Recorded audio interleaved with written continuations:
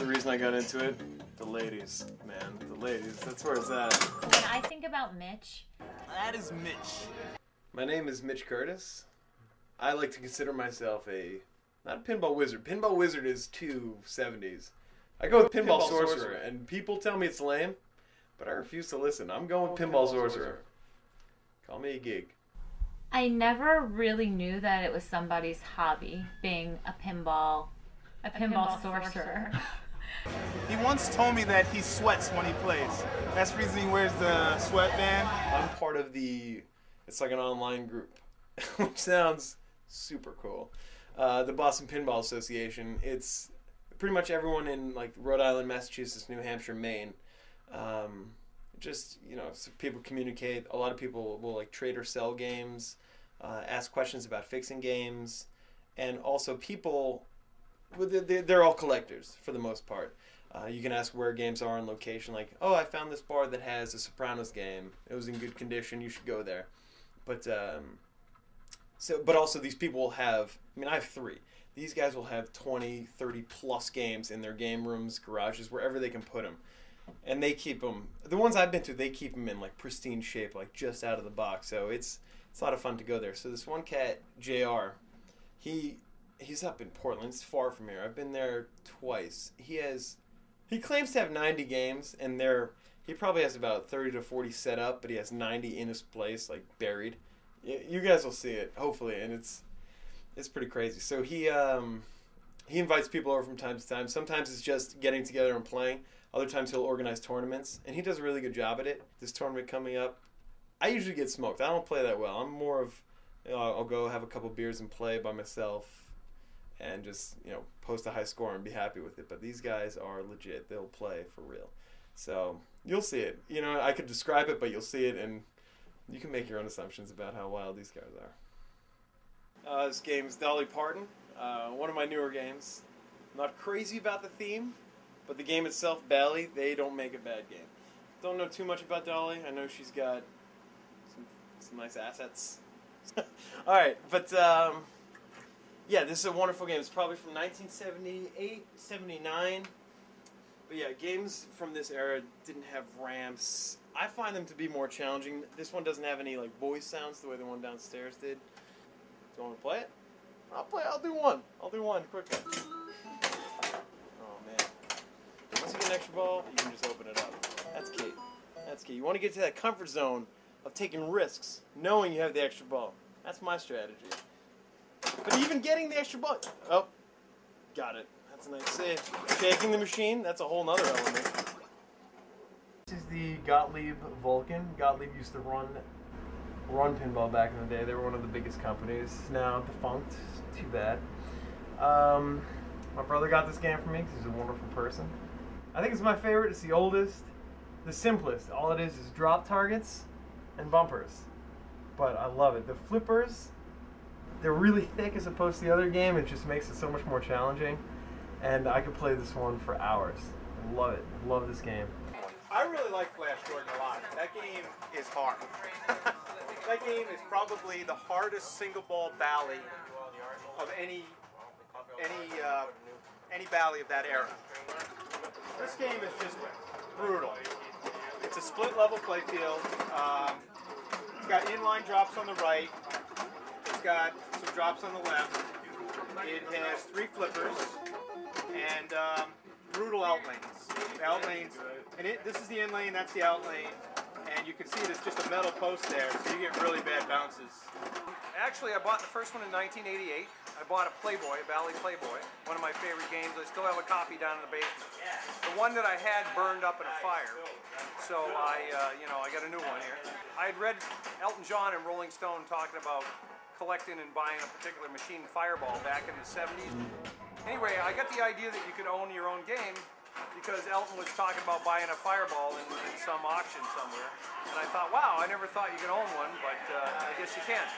So anyway, when I, uh, probably 10 years later roughly, uh, I had a house and a job and whatever, you know, things you need to get a pinball. And uh, I decided to go find some of the old machines that I liked that you couldn't find as much anymore. They were basically becoming scarce. Uh, you couldn't find them on location. So I went out and bought a Playboy in 1988, and uh, when my house burned in 2000. And when the house burned, uh, of course I knew I was going to build a new house. I decided to build this place with more room for pinball. And after I had the room, I uh, started collecting more machines. And by the time we moved to the new house, I had about 30 of them. And I decided I would buy the rest of the machines I wanted. Starts with one pinball machine. Don't buy one pinball machine unless you can fit 15 in your house. At least three. At least three. At least three. That's the rule. 'Cause you- yeah. My games is I'm I'm a polygamist. Like within my home, I got I have three wives. Lady Vulcan, Lady Dolly, and Lady Phantom downstairs. Those are my wives. They love me, I love them.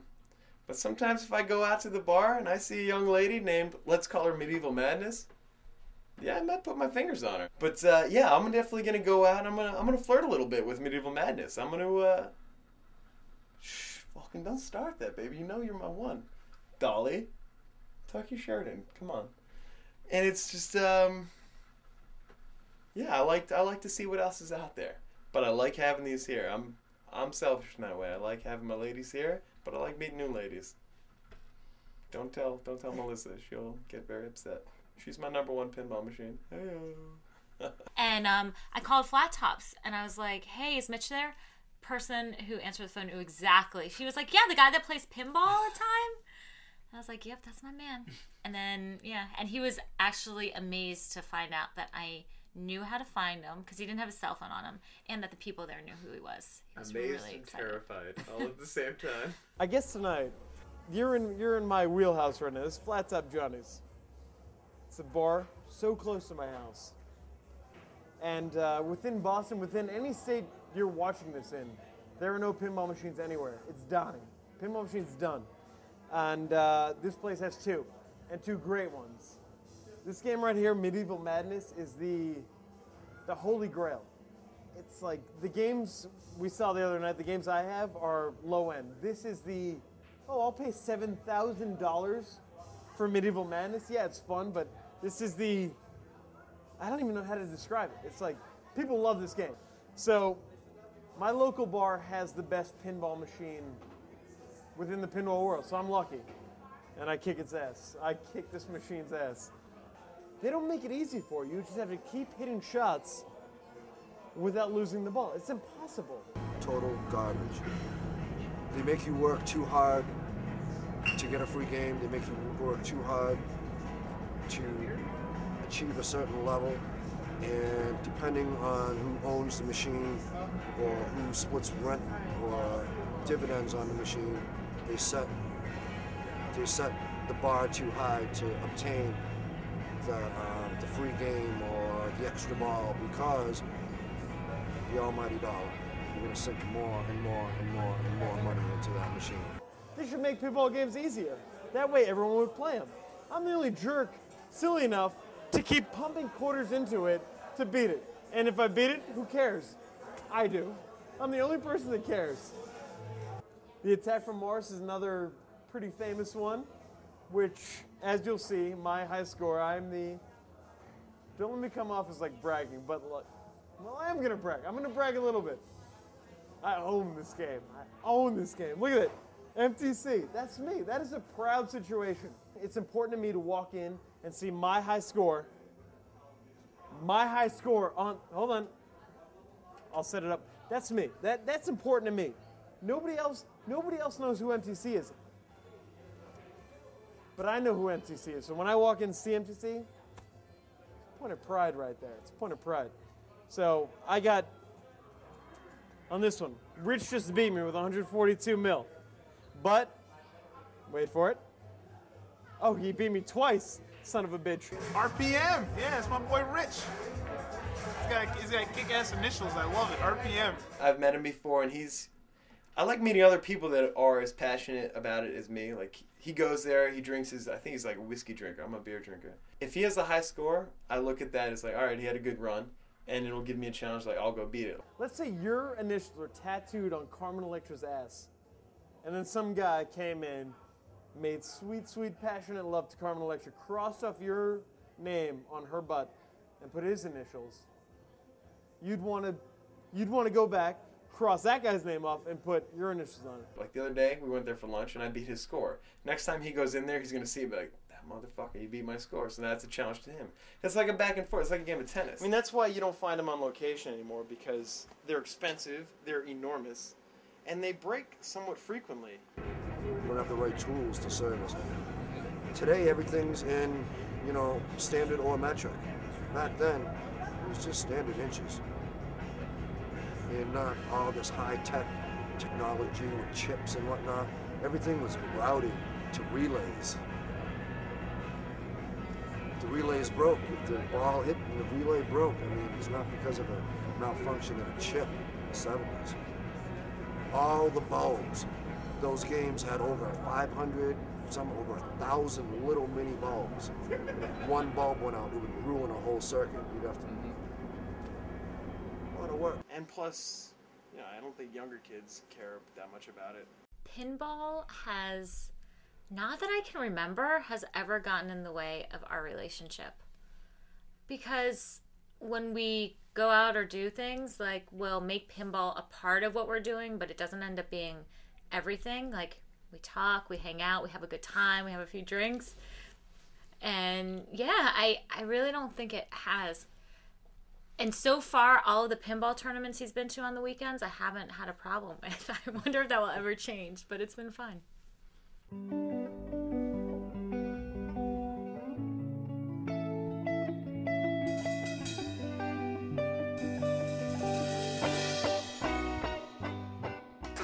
Something I've been doing for about 15 years, which is holding uh, pinball tournaments at my place.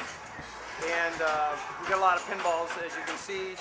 We got 106 of them, and there's about 50 odd set up here in the house that people can play.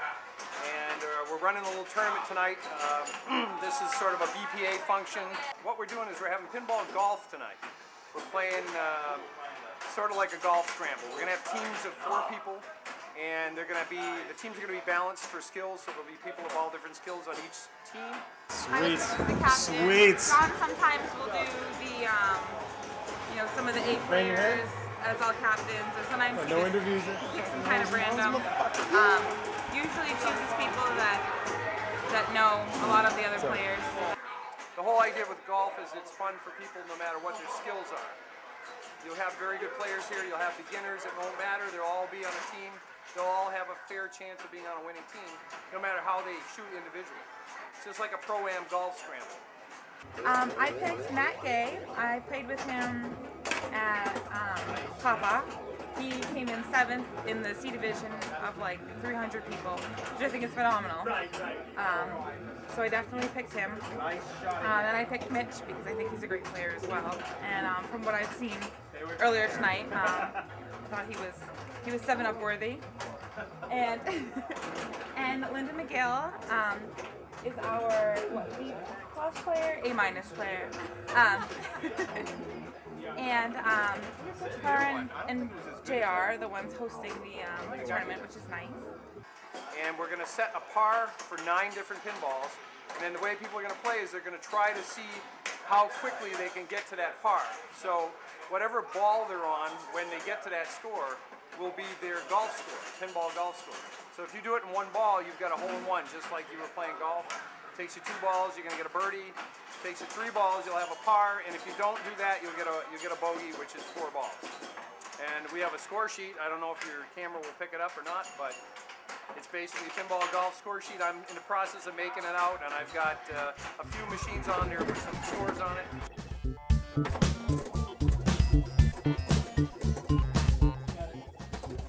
Done. Whew, just in time. Come on now. Here we go. I don't want to be knocking people over, but all right. Good stuff. Good stuff. Oh man! You kidding me? Right, right down, right down. Hundred thousand. We get ten balls, right? Par. Par. Just one bogey fucks me up. Mentally. We're back on. And as a team, we're doing okay. We got this.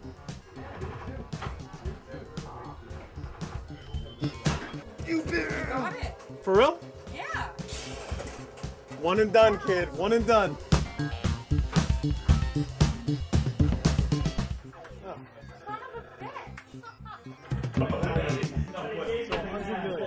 Going for points, dude.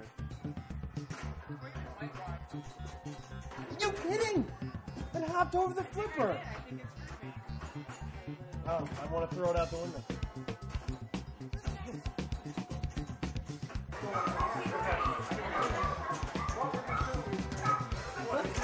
Heartbreak, heartbreak.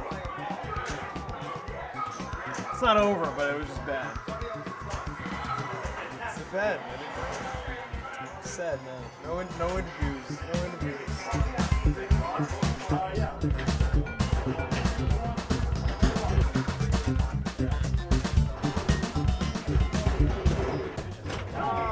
You got it. Sorry for the premature. You got it. That's all good. It's all good. I did it too. If I got 124, it would have been different. We're all done after nine. Um, I guess 20. I don't know what the, what a good score is, but that sounds pretty good. I feel good about 20. And uh, we'll see how the team does. Interesting setup here. We have uh, two teams that are tied, so we really have two second places, okay? And this is 7 Up and a really long name is that a pussy on your machine or are you just happy to see me? That's the name of the team. yeah! Fucking A! All right, dudes and dudettes. Fabulous. Okay, so 7 Up is Mitch. Mitch, listen, Mitch shot a 20, okay? Matt shot a 24, two excellent scores here. Linda shot a 23 as well, so that's excellent. This is Michelle's team, and they she drafted well, obviously, huh? And uh, all right, absolutely. Listen to this. So 20, 23, 24, some nice scores there. Nice. Team averaged out to a 97. So now you know that's kicking butt, right? That's quite a bit below par. For um, the 97s, which is the Is That a Pussy on your machine and 7 Up. Step right up. Let's do it this way. Step, 7 Up, step right up. Okay? This is Mitch, Matt, Mitch, Matt, Michelle, and Linda. Mitch, Matt, Michelle, and Linda. I see. Accepting on behalf. See, Matt. So you know Mr. Matt. All right. Okay. Now with Mitch. Okay. We get it all. No, uh, Michelle. There she is. Yay. Congratulations. Good job. All right. Sure. Okay. Now, I lost 10. Mitch. So, cost me 30 bucks to go play. I know he's around here somewhere. There he is. All right. Third place. oh shit, I'll take it. Individual standing third place, 20 bucks. All right, thanks. man. And that's pretty damn good. He shot at 20. Remember, par is 27, and birdie is 18. When I think about Mitch, I just get so happy. And really, like, he makes me so happy. He's funny, he's kind. Um, pretty much, I want to say pinball. That's what I'm. That's what I'm here for. That's what I'm supposed to do. When I'm long gone, people like, yeah, I remember Mitch. That motherfucker saved pinball.